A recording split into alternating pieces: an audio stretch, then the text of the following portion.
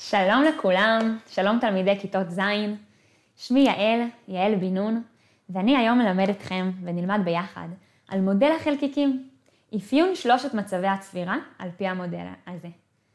אה, אני מורה למדעים בחטיבות הביניים, והעולם שלי מאוד מאוד עשיר. אני אוהבת אה, לטייל, לראות נופים, חיות, צבעים, והיום על זה אנחנו הולכים לדבר, על העולם שלנו. והיום אנחנו גם נלמד להסתכל עליו מזווית ראייה, שאולי אף פעם לא הסתכלנו עליו ככה. בואו נתחיל. מה נלמד היום?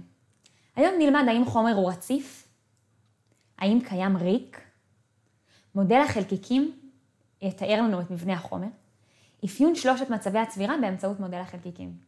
נשמע קצת מילים גדולות, אנחנו כבר ניכנס לעניינים. אז מבנה החומר. חשבתם פעם, האם יש משהו משותף לכל מה שמקיף אותנו? אנחנו מוקפים בקירות, אני ספציפית במצלמות ותאורה ומסכים, שעון, דלת, שולחן. האם יש משהו שמשותף לכל החומרים בעולמנו?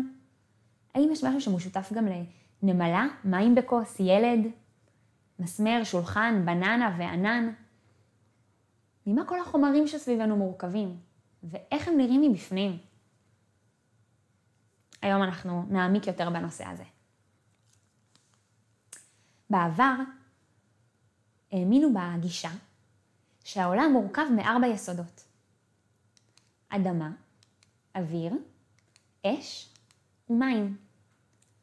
כלומר, הם האמינו שבכל גוף פיזיקלי, בין אם זה ברווזון חמוד, ובין אם זה בית, ובין אם זה ארנבון, הוא מורכב משילוב אה, של חלק מהיסודות, מארבעת היסודות האלה, או כולם. למשל, ארנבת יכולה להיות מאדמה ואש, אבל ב, למשל ברק יהיה יותר מהחומרים, היסודות האחרים. וככה כל דבר בעולמנו, כולל אנחנו, בני האדם, מורכבים משילובים וצירופים של ארבעת היסודות הללו. האמת שזה היה כל כך מושרש וחזק, שרוב ההיסטוריה האנושית האמינו בזה. ובאקרופוליס העתיקה, באתונה, ביוון, אני לוקחת אתכם לשם, והנה, כאן למעלה, תסתכלו, בדיוק מעליי בריבוע, גם אני הייתי שם, ובטח גם חלקכם שמעתם על המקום הזה. התרחשה שם מחלוקת מאוד מאוד גדולה ומפורסמת בין שני גדולי עולם. שניהם התלבטו כבר אז, לפני אלפיים ומשהו שנה, האם באמת תיאוריית ארבעת היסודות מתקיימת, או שיכול להיות שהחומר מורכב מדברים אחרים. לשני גדולי העולם האלה קראו דמוקריטוס ואריסטו. עכשיו תגידו לי אתם, איזה שם מוכר לכם יותר? השם של דמוקריטוס או השם של אריסטו? כן, רובנו שמענו על אריסטו. דמוקריטוס אולי קצת חדש לנו. אולי אם אנחנו מתעניינים במדע וקוראים הרבה, אז גם שמענו עליו. אבל יש סיבה למה אריסטו כל כך מוכר ומפורסם. עוד מעט אנחנו גם נגיע לזה. אמ, המחלוקת רבת השנים שלהם הייתה כל כך חזקה וקשה, ואנחנו עוד מעט נראה אותה, ממש נחזור לתקופה הזאת. ולפני שנראה את הסרטון ונצפה בו, אני רוצה שתכתבו את הטבלה הזאת במחברת, או לפחות תזכרו את שתי השאלות הללו, ותנסו לענות עליהן תוך כדי שאנחנו רואים את הסרטון. מהי הטענה המרכזית של אריסטו ושל דמוקריטוס בסרטון, ואיך הם מסבירים אותה. מי שרוצה להעתיק, אפשר גם uh, לעשות פאוזה לסרטון, להעתיק בנחת ואז להמשיך לצפות. אנחנו מתחילים. ובכן, ליוון העתיקה. שם התגלה הריק לראשונה ונשאלה לגביו שאלה בסיסית ביותר, האם הוא בכלל קיים? האם קיים ריק בעולמנו? זוהי אתונה שלפני 2,500 שנים. כאן חיו שני פילוסופים גדולים שהשפעתם ניכרת עד ימינו, אריסטו ודמוקריטוס. כל אחד מהם בדרכו ניסה לענות על השאלה, האם קיים ריק בעולמנו? דמוקריטוס יצא לפני תלמידים ומעריצים בכיכר העיר. בוודאי שקיים. ואריסטו הרצה באוניברסיטה שהקים באתונה. בשום פנים ואופן לא. שאלת קיומו או אי קיומו של הריק היא שאלה חשובה ויסודית. על סמך ההנחה שקיים ריק, בניתי תיאוריה שלמה שאומרת שכל החומר בעולם בנוי מאטומים שביניהם ריק. הוכחת קיומו של הריק בעולם מהווה את מחצית הדרך להוכחה שתורת האטומים שלי נכונה. רגע, מה, מה זאת אומרת? העולם בנוי מאטומים שביניהם ריק. תראה, את המקל הזה, אני יכול לחתוך לשתי חתיכות? ואת החצי הזה שוב לשתי חתיכות? וכן הלאה וכן הלאה, ושוב, האם עד אין סוף? לא. רק עד שאגיע אל האטום. את האטום כבר אי אפשר לחלק. ומה יש בין שני אטומים? ריק. האטומים המתרכבים זה עם זה, או נפרדים זה מזה, מהווים ביחד את כל הגופים הנראים לעין בעולמנו. איך אפשר להגיע למסקנות מוצאות כאלה? ריק בעולמנו. שלילת קיומו של הריק היא בעיניי מרכזית לשם הבנת העולם ותופעותיו. אני אינני מאמין במה שאינו קיים, וריק הוא התגלמות הכלום. אני למשל שללתי ושולל את האפס כמספר, אין דבר כזה. וזהו בסיס מוצק לכמה וכמה תיאוריות שבניתי. עולמנו הוא עולם החומר, הוא מלא חומר, אין בו ריק. יש ריק. יש ריק. יש. טוב, אז uh, הסרטון הזה באמת מחזיר אותנו עמוק עמוק לתקופה, לתוך המחלוקת העמוקה, ואני מקווה שכבר תוך כדי רשמתם לכם בטבלה חלק מהתשובות, ואם לא, שוב, תעשו פוס על הסרטון, תרשמו בנחת ותחזרו אלינו. הטענה המרכזית של אריסטו היא שאין ריק בעולם, הוא שולל את קיומו של הריק.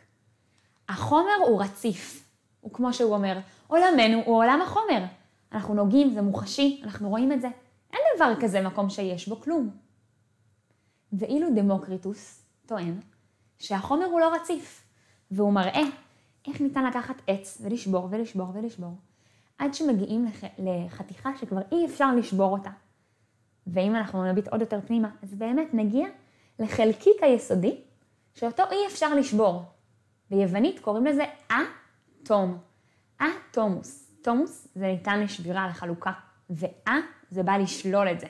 אז זה בלתי ניתן לחלוקה. וזה מה, שדמוק... זה, זה מה שדמוקריטוס אומר. אז אריסטו מסביר את זה, שלא יכול להיות מקום שאין בו כלום. וחבר'ה, זה באמת אינטואיטיבי. אנחנו אולי יכולים לדמיין בחלל שאין כלום, אבל יכול להיות בעולם שלנו שאין כלום. הרי אני מסתכלת מסביבי, יש פה חומרים, ואם אין חומרים אז יש אוויר. מה זאת אומרת אין כלום? ואילו דמוקריטוס אומר, לא, החומר הוא מורכב מאטומים, הם בלתי ניתנים לחלוקה, וביניהם יש ריק, יש כלום. בעצם הם חלוקים עמוקות על מבנה החומר. דמוקריטוס אומר שהחומר הוא לא רציף. כלומר, גם אם בעיניים נראה לנו שספר הוא עשוי רק מספר או בול עץ, זה רק עץ, בעצם בפנים הוא עשוי מחלקיקים וביניהם ריק. זה מה שדמוקריטוס אומר. אריסטו אומר, אתה השתגעת? זה לא הגיוני וזה לא ייתכן. אין דבר כזה כלום. עץ זה עץ, אדמה זה אדמה, כוס מים עם כוס מים, זה מה שיש בה. החומר הוא רציף, ועולמנו הוא עולם החומר. ועכשיו אני שואלת אתכם, יקרים שלי, מה אתם אומרים? עם מי אתם מסכימים? ואם כבר החלטתם, לאן דעתכם נוטה? האם יש לכם רעיון איך להוכיח את צדקתכם? איך הייתם מוכיחים זאת? עוד מעט אנחנו נראה עוד סרטון שמדבר, אה, את המשך הסרטון שמדבר קצת על איך הם מנסים להוכיח את דעותיהם. אבל אני רוצה לשאול אתכם לפני כן, אם אריסטו צודק והחומר הוא רציף, איך אפשר לנוע בעולם? הרי אם כל העולם הוא רק חומר, אז איך אפשר לזוז? אתה כל פעם נתקע בחומר אחר. אבל אם דמוקריטוס צודק ויש ריק, אז באמת קיים מקום בעולם שאין בו כלום? שאלות אה, שעולות בנו. ועוד יותר, מדוע קשה לאריסטו בסרטון לקבל את מושג האינסוף? למה הוא מתנגד לזה שקיים אינסוף? ולמה קשה לו להשלים עם המספר אפס? ושאלה אחרונה, אנחנו לא עונים על השאלות, זה שאלות לפתח את המחשבה. במדעים אנחנו צריכים לדעת לשאול שאלות. האם, במידה ואתם הייתם הסטודנטים האלה בסרטון, התלמידים של אריסטו, דמוקריטוס, שיושבים ומקשיבים ומתלבטים למי להאמין, האם דעתכם הייתה שונה אז, לפני אלפיים שנה, מאשר מה שאתם חושבים שדעתכם היום? ואם כן, למה? אולי אחד מהם נשמע יותר משכנע? בואו נמשיך ונצפה קצת יותר לעומק איך הם מנסים להסביר את טענותיהם. נניח שהריק אינו קיים. במקרה כזה. העולם מלא בחומר. אז איך אפשר שתתקיים בו תנועה? כדי שתתאפשר תנועה חייב להיות מקום פנוי שאפשר יהיה לנוע אליו. ובעולם יש גופים נעים וקיימת תנועה, כולל האוויר שגם הוא נע. אז באיזשהו מקום חייב להימצא חלל ריק, אליו התחילה התנועה הבראשיתית הזאת. לא? שטויות. שטויות. תגיד לדעתי. לדעתי. אבל זה לא משנה את העובדה שאלה שטויות ותו לא. למה התכוון דמוקריטוס? הוא התכוון שאם העולם מלא בחומר ואין בו ריק, אזי לא תוכל להתקיים בו תנועה. בדומה לריבוע הצבעים האלה. לא נוכל לסדר אותו לעולם מפני שריבועי הצבעים אינם יכולים לנוע. אבל אם נוציא ריבוע אחד או יותר, ייווצר מקום ריק שיאפשר תנועה של הריבועים. העולם, אנחנו רואים, קיימת תנועה, בדומה לריבוע הזה. כלומר, בעולם חייב להיות ריק. זה רושם שדמוקריטוס צודק. נמשיך. אז נראה באמת האם דמוקריטוס צודק במאבק הקשוח הזה. אז באמת, בכל העת העתיקה, אימצו את תיאוריית ארבעת היסודות, שכל העולם מורכב מארבעתם, ואריסטו אימץ אותה ולאורך כל ימי הביניים ובעידוד הכנסייה, האמינו שבאמת העולם מורכב מארבעה יסודות. והחומר הוא רציף, ולא ייתכן מקום שאין בו חומר. אבל, כמו שכבר התחלנו לראות בסרטון, היו קצת תהיות על זה. איך תיתכן תנועה אם אין מקום לזוז אליה, כמו בריבוע שראינו. ועוד כל מיני דברים שקרו במהלך ההיסטוריה, בימי הביניים, בתקופת הרנסאנס, ולאט לאט, באמצעות אה, תצפיות שנצפו, באמצעות כל מיני ניסויים, בין אם ניסויי שטח או ניסויים יותר מבוקרים, ניסו לבדוק האם באמת אולי דווקא הגישה של אריסטו היא מוטה, היא, היא לא יכולה להסביר תופעות שקיימות? אולי דווקא הדעה של דמוקריטוס יכולה להסביר יותר תופעות שקורות לנו בעולם או ביום יום? ובאמת בעת החדשה התחילו לקבל יותר את דעתו של דמוקריטוס, שהעולם בנוי מחלק... שהחומר מורכב מחלקיקים וביניהם ריק. ובאמת היום הדעה של דמוקריטוס מקובלת יותר. ודמוקריטוס כמובן, הוא חי לפני אלפיים שנה, אבל עם ההתפתחות ההיסטורית והגילויים שהיו והמצאות והאמצעים הטכנולוגיים שהיה לנו ומיקרוסקופים, התחילו לפתח מודל חדש להסבר, להסברת מבנה החומר. קוראים לו מודל החלקיקים של החומר. אבל, כיוון שמדובר במודל שהוא מדבר על דברים הכי הכי הכי קטנטנים, על איך נראה החומר מבפנים, בשביל זה עלינו להרכיב משקפיים מיוחדות, ונקרא להם משקפי הקסם. אז שלום, אני מקווה שזה יפה לי. ובואו נצלול עמוק אל תוך החומר באמצעות משקפי הקסם ונראה איך הוא נראה בעזרת מודל החלקיקים.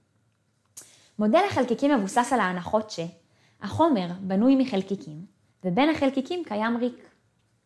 אז הנה הרכבנו את משקפי הקסם, ואם נסתכל על הברווזונים החמודים האלה, עכשיו אנחנו בעצם רואים שהם עצמם מורכבים מאטומים שונים, או מולקולות, ובעצם במילה כללית חלקיקים, שביניהם יש ריק. אפילו הבית הזה, שנראה לנו שהוא כל כולו חומר, שאפשר אה, ממש לחוש אותו, את העצים שלו, את, המס... את המסמרים, את הקורות, בעצם גם הוא עשוי מחלקיקים. הנה, אני רואה, אני ממש רואה, אני מסתכלת פה על הקירות. ויש ביניהם ריק, כמובן שאני רואה רק בעזרת המשקפיים. עכשיו זה נראה לי שהכל רציף. אבל עם משקפי הקסם של מודל החלקיקים, אפשר לראות דברים נוספים. אפילו הארנבונת שדיברנו עליה קודם, גם אני רואה אותה עכשיו, שהיא מורכבת מהרבה חלקיקים שנעים וביניהם ריק. וגם אני, אנחנו, בני האדם לא יאומן, נראה לנו שאנחנו רק, אנחנו אור ועצמות ומלאים בחומר, אבל בעצם רוב רובנו זה בכלל לא חומר, זה בעצם ריק. תקשיבו, אני חייבת להוריד רגע את המשקפיים, זה לא כזה פשוט. אנחנו הרי חיים בעולם ואנחנו מרגישים מה שקורה סביבנו והכל מוחשי, הכל, אפשר לגעת בחומרים, אפשר לחוש אותם, ואם לא, אז יש אוויר. קשה לנו מאוד לתאר זאת.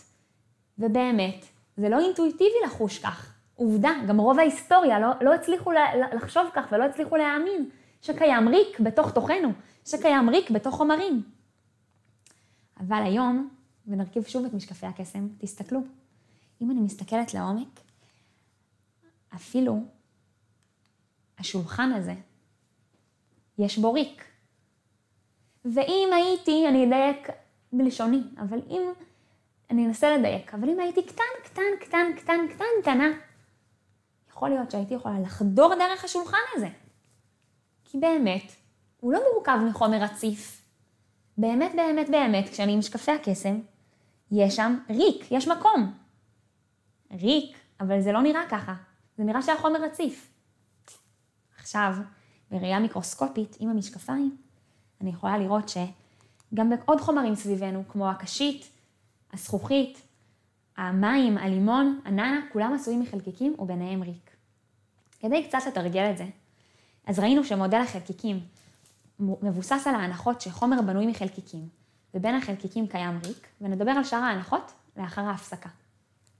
אבל לפני ההפסקה, אני רוצה להראות לכם, אה, לתת לכם משימה קצרה. הכנתי פה, כיאה לכל שיעור מדעים טוב, צריך גם התנסות. אה, הכנתי פה בקבוק, ארלן מאייר, מזכוכית.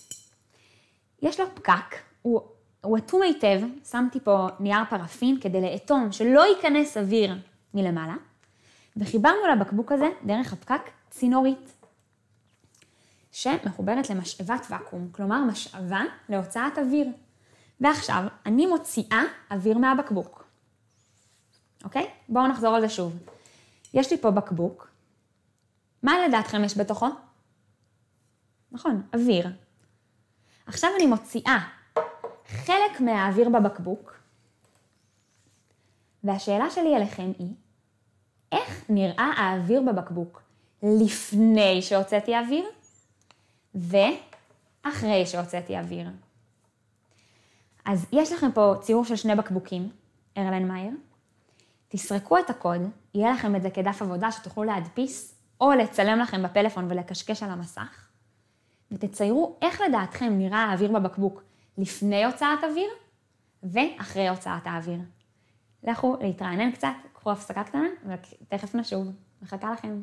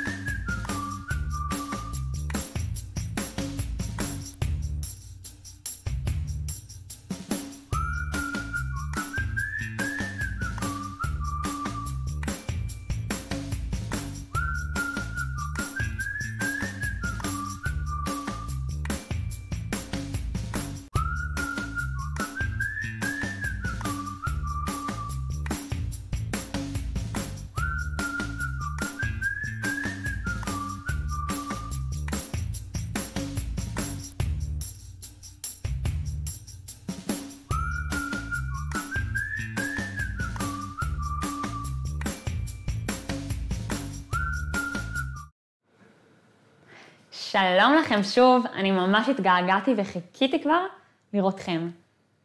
דיברנו לפני ההפסקה על מודל החלקיקים.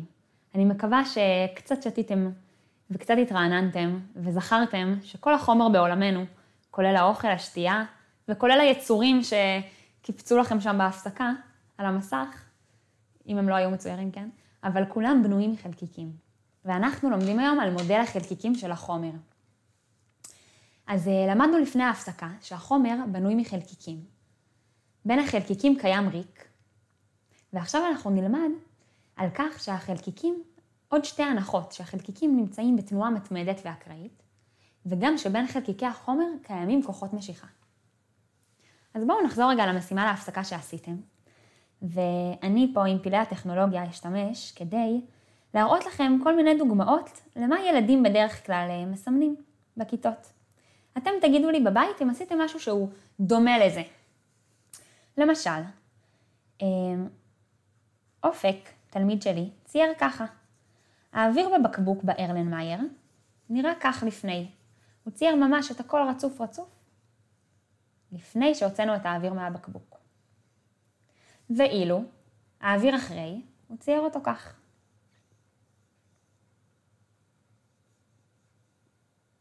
ובכך הוא מראה שחלק מהאוויר יצא מהבקבוק.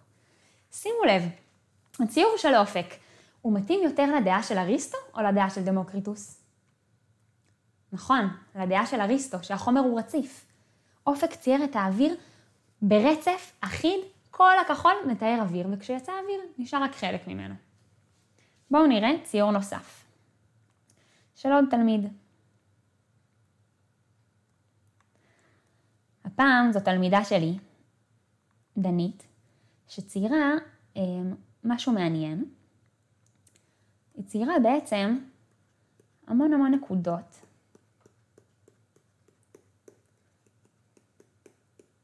בבקבוק לפני הוצאת האוויר, והיא ציירה מעט נקודות לאחר הוצאת האוויר. האם גם אתם ציירתם ציור דומה לשל דנית?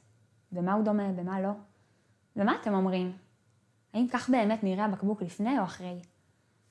מזכירה לכם, זה הבקבוק שדיברנו עליו, שבהתחלה היה בו אוויר, ועם הצינורית הוצאנו, שאבנו חלק מהאוויר שבבקבוק בעזרת צינורית הוואקום, אחרי. אז דנית חשבה שהאוויר שאחרי נשאר בעצם פה למעלה, והתרכזות חלקיקי האוויר פה למעלה. בעצם אנחנו יכולים לראות שדנית מאמינה, היא נוטה יותר לדעתו של דמוקריטוס, כי היא ציירה את האוויר לא כחומר רציף, אלא כחלקיקים, וביניהם ריק. עכשיו בואו נראה תשובה שבעיניי מדויקת פלאות, שצייר תלמיד נוסף. עידו צייר כך, שימו לב. בצבע אחד הוא צייר אה, נקודות שמתארות חלקיקים בצבע סגול. בצבע שני הוא צייר נקודות שתיים מחוברות כל פעם. הוא אמר שזה מולקולה. כנראה הוא מאוד אוהב מדעים והוא מתקדם ולומד גם בעצמו מעבר. ובצבע שלישי הוא צייר עוד קצת נקודות פה ושם. שאלתי אותו, למה ציירת בכמה צבעים? והוא אמר לי, ציירתי בכמה צבעים כי אני יודע שאוויר מורכב מכל מיני סוגים של גזים. ולכן, לפני שהוצאנו את האוויר מהבקבוק, היה בו הרבה מכל הסוגים של הגזים, אז הוא צייר חלקיקי גז. ואחרי שהוצאנו את האוויר מהבקבוק, יש בו עדיין את סוגי הגזים, הם התפזרו בכל המקום, אבל יש קצת פחות. אם uh, אני אדגיש את זה יותר, אני אוסיף בלפני יותר, כי אופק ככה הוא באמת צייר את זה. הוא היה מאוד מאוד מאוד uh, מרובה בחלקיקים, ובציור של האחרי, באמת ראו, ראו את ההבדל שיש הרבה פחות. אתם יכולים לראות את ההבדל, נכון? אבל מה שונה בין הציור של אופק לציור של אה, דנית ממקודם? אופק בעצם צייר את כל חלקיקי האוויר, לפני ואחרי מפוזרים בכל המיכל, בכל הבקבוק ארלנמייר. גם אחרי שהוצאנו אוויר מהבקבוק, אופק צייר את החלקיקים ממשיכים להיות מפוזרים. פשוט עכשיו יש פחות חלקיקים, ויש ביניהם יותר ריק. אמרתי, אמרתי לעידו, סליחה, זה הציור של עידו היה, אמרתי לעידו, כל הכבוד לך, תקשיב, אתה גם קלעת בול, וגם אני רואה שאתה יודע מדעים היטב. ולא ציירת אוויר רק כחלקיקים מסוימים, אלא כתערובת של כל מיני חומרים. ובעצם האוויר הוא חומר. האוויר הוא תערובת של גזים, כל מיני סוגים של גזים, חמצן, חנקן, מימן, וביניהם יש ריק. ואם הוצאנו חלק מהאוויר, אז נשארו מעט חלקיקים, וביניהם נשאר המון ריק, כמו שאנחנו רואים בציור של עידו, אחרי. אז אה, תודה רבה לכם שעשיתם את המשימה. ובואו נעבור להעמיק בנושא הריק ושלושת מצבי הצבירה. מהו בכלל מצב צבירה? צבירה זה מלשון השורש צדיק בית ריש. כלומר, צבר זה מבנה. האופן שבו מצטברים דברים. ולכן, עצם השינוי בצבר של החלקיקים, איך שהם מצטברים, במבנה שבו הם מצטברים, הוא הקובע את מצב הצבירה שלהם. מוצק, נוזל או גז. שימו לב בתמונה, אנחנו יכולים לראות שציירו את אותו צבע של חלקיקים, אותו גודל של חלקיקים בשלושת מצבי הצבירה. החלקיקים בעצם לא משתנים, הם גם לא גדלים או קטנים, והם בעצם, יש ביניהם פשוט הצטברות שונה ומרווחים שונים. בואו נעבור הלאה ונראה את זה יותר לעומק. עד עכשיו ראינו כיצד מתנהגים חלקיקי גז. ואני שוב לוקחת את משקפי הקסם שלנו, אני שמה אותם, כדי שנוכל לראות את הגז מבפנים. למשל, יש לי פה עכשיו קופסה ריקה במעבדה הניידת שהבאתי לפה לאולפן, ואם אני צופה בה במשקפי הקסם, אני רואה את חלקיקי האוויר, חנקן, מימן, חמצן, וביניהם יש הרבה מאוד ריק במקום, והם יוצאים גם מה... הם, הם לא נשארים בתוך הקופסה, כי הקופסה לא מכוסה. אבל אם אני אכסה את הקופסה, עכשיו יש בה כמות מוגבלת של חלקיקי גז. אם אני אפתח, חלקיקי הגז והאוויר יתפשטו עם האוויר שנמצא מסביבנו בחדר. מה מאפיין את חלקיקי הגז הללו? מה שמאפיין אותם זה שהם נמצאים באי סדר. הם מרוחקים מאוד זה מזה. התנועה שלהם, שימו לב, אני אדגים, אני אהיה חלקיק לרגע, התנועה שלהם היא גם תנועה תנודתית במקום, ככה, נדים במקום, הם אף פעם לא עומדים ולא עושים כלום. הם לא קופאים על מקומם, הם תמיד בתנועה נדים. גם סיבובית, הם מסתובבים במקום, וגם הם נעים בקו ישר. תוך כדי זה שהם נדים ומסתובבים, הם זזים עד שהם נתקלים בגבולות של המסך ששמו לי, והם ממשיכים לנוד עד שהם נתקלים במשהו אחר, והם נתקלים זה בזה. ככה, הם נדים, מסתובבים בכל המרחב שיש להם, בכל נפח המקום שיש להם. והם בעצם כל הזמן משנים את המיקום שלהם בצבר, ומתנגשים זה בזה. אין להם איזשהו מבנה מוגדר ומסודר. כוחות המשיכה ביניהם, בגלל שהם כל כך רחוקים אחד מהשני ויש ביניהם הרבה ריק, כוחות המשיכה ביניהם הם חלשים. בואו נערי התופעה לדוגמה. יש לי פה מזרק. רגע, אני אסובב את המעבדה הניידת שהכנתי במיוחד בשבילכם. נעשה קצת סדר, כי גם החלקיקים אנחנו רוצים שהם יהיו מסודרים בסדר מסוים בכל מצב צבירה, נכון? טוב, יש לי פה מזרק. ותופעה מעניינת שבטוח שמתם לב אליה, שאם אני סותמת עם היד את החור של המזרק, אני יכולה קצת אה, ללחוץ עליו, ככה להפעיל עליו לחץ, ויש איזושהי דחיסה פה. דחיסה של מה? מה לדעתכם יש בפנים? נכון, אוויר. אז אם אני סותמת פה את היציאה של האוויר ודוחסת, איך אני יכולה לדחוס את האוויר? אוקיי, בואו נראה. ניקח 50 מיליליטר במזרק. עכשיו נסתום את הפייה ונדחוס את זה ל-30 מיליליטר. האם כמות החלקיקים במזרק השתנתה? התשובה היא לא. למה? כי בעצם בפעולת הדחיסה לא, לא נוסף עוד אוויר, אני סותמת את החור, לא יכול להיכנס עוד אוויר. אותה כמות חלקיקים של אוויר נשארה. אבל האם הנפח שלהם השתנה? בואו נראה. האם המקום שחלקיקי האוויר תופסים, נפח האוויר, השתנה? תסתכלו, מ-50 ל-30. בטח, הנפח השתנה. הוא קטן. כלומר, אותה כמות חלקיקים נכנסת עכשיו בפחות מקום. האם זה אפשרי? התשובה היא, רגע, האם נוכל, איך נוכל להסביר את התופעה הזאת? בואו נראה. הנה לנו תמונה של חלקיקים, של חלקיקי הגז ב-50 מיליליטר, תמונה של חלקיקים כשהם דחוסים ב-30 מיליליטר, שהגז דחוס, ולאחר מכן שאנחנו מחזירים את זה ל-50. כמות החלקיקים היא אותה כמות, רק המרווחים ביניהם קטנו. ולכן מודל החלקיקים יכול להסביר את התופעה הזאת. ניתן להסביר את התופעה באמצעות המודל.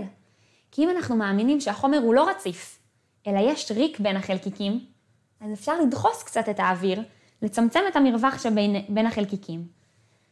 בגז אין כוחות משיכה גדולים, ולכן החלקיקים רחוקים זה מזה. ככה שאפשר לצמצם ולהגדיל את המרווחים ביניהם. לדחוס ולגרום הגז להידחס ולהתפשט.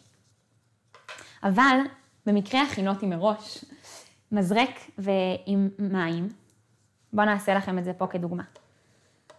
אני אקח, אה, אני אקח פטל, ואני אמלא אותו, את המים, את המזרק, ב-50 מיליליטר של פטל, או אפילו קצת בפחות. אוקיי? בואו נראה, נעשה, הגיע ל-20. עכשיו אני סותמת את הפייה. האם אפשר לדחוס את המים? תראו, אני מנסה. אני מצליחה? אני לא מצליחה לדחוס.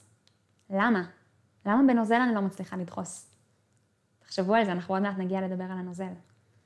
בואו נראה את זה גם, את התופעה הזאת שקורית גם במוצק. במקרה מראש, הכנתי לכם מזרק שהקפאתי במקפיא. הנה, 30 מיליליטר. אני מנסה לדחוס את זה, וזה לא מצליח להידחס. למה? הקרח הוא במצב צבירה מוצק. מה זה אומר לנו? איך מודל החלקיקים מסביר את זה? עוד מעט נראה. אז בואו נראה איך מתנהגים חלקיקי הנוזל. נשים שוב את משקפי הקסם, ונסתכל מבעד לנוזל. אני למשל שופכת מים לכוס. בעיניים אני רואה פה מים והם נראים לי רציפים, אבל בעצם אני יודעת שהם מורכבים מחלקיקים ובמשקפי הקסם, רגע, הנה, אני רואה היטב את החלקיקים. אין להם מבנה מסודר. כלומר, הם מאוד מאוד קרובים זה לזה, אבל תראו, המבנה שלהם משתנה כשאני מזיזה את הכוס. לעומת זאת, אם הייתי מכניסה אבן שהיא מוצק אל תוך הכוס, האם המבנה שלה הייתה, היה משתנה כשהייתי מזיזה את הכוס? לא. בואו תראו, אבן שהיא מוצק, אני מכניסה אותה לכוס, והמבנה שלה לא משתנה, וגם אם אני אכניס אותה לכוס אחרת, המבנה שלה לא ישתנה. היא נשארה אותה אבן בדיוק. אבל מים, אם אני אעביר אותה מכוס לכוס, שימו לב, המים יקבלו את צורת הכוס החדשה, אליהם היא נכנסת. הנה, צורת כוס אחרת, והנה, צורת כוס נוספת, והנה אם תרצו, הם יקבלו אפילו את צורת הקערית. כלומר, המים הם קרובים זה לזה, התנועה שלהם היא תנועה תנודתית, הם זזים במקום, וגם סיבובית, הם מסתובבים, נדים ומסתובבים, משנים את מצב, את, מקום, את המקום שלהם בצבר, אבל הם נשארים צמודים זה לזה, והם מתנגשים זה בזה. כוחות המשיכה ביניהם הם בינוניים. והמוצק, שגם הזכרנו אותו קודם באבן, המוצק, קל לנו לדמיין את זה. אבל בואו בכל זאת נשים את משקפי הקסם. אם נסתכל עליו, החלקיקים שלו הם מאוד מאוד מאוד מאוד אה, צפופים, מסודרים, אין ביניהם הרבה ריק. ולכן, אבל עדיין, למרות שנראה לנו שזה כמו אבן וזה קשה כמו אבן, עדיין החלקיקים הם כל הזמן נדים במקום. כל הזמן, כל הזמן יש תנועה של החלקיקים. הם לא קפואים. הם אפילו בקרח, כמו שהראיתי לכם ב... הנה, בקרח שהכנתי לכם פה בקערה, החלקיקים הם נראים לנו, בקרח בלי משקפי הקסם, זה נראה לנו שהכל קפוא ולא זז. אבל עם משקפי הקסם באמצעות מודל החלקיקים, אני יכולה לראות שחלקיקי, שהחלקיקי המוצק הם נדים כל הזמן במקום, הם כל הזמן זזים. באותה קופסה אני אשים מים, כי קרח זה מים, אני אשים נוזל בקופסה דומה, הנוזל מתנהג אחרת. הנוזל והקרח, למרות שהם, המים והקרח, למרות שהם אותו חומר, החלקיקים שלהם הם בדיוק אותם חלקיקים, בנוזל הם מסתובבים, הם במבנה, הנה אני אחזיר לכם את זה, בנוזל הם, מתנ... הם אה, נדים, הם מתנועה סיבובית, הם משנים את מקומם בצבר, ואילו במוצק הם לא, מש... הם לא משנים את מקומם בצבר, במצב הצבירה שלהם המוצק, הם רק נדים במקום. כוחות המשיכה במוצק הם חזקים מאוד, וזה מה ששומר על הצבר שלהם ועל הצורה שלהם. עכשיו ברשותכם אנחנו נראה סימולציה שתעזור לנו לראות היטב איך מתנהגים חלקיקים בכל אחד ממצבי הצבירה. אז במוצק, שימו לב, החלקיקים במבנה מסודר, בנוזל החלקיקים הם בצבר, אבל הם זזים במקום. יש ביניהם קצת יותר ריק, ותראו מה קורה, לאט לאט.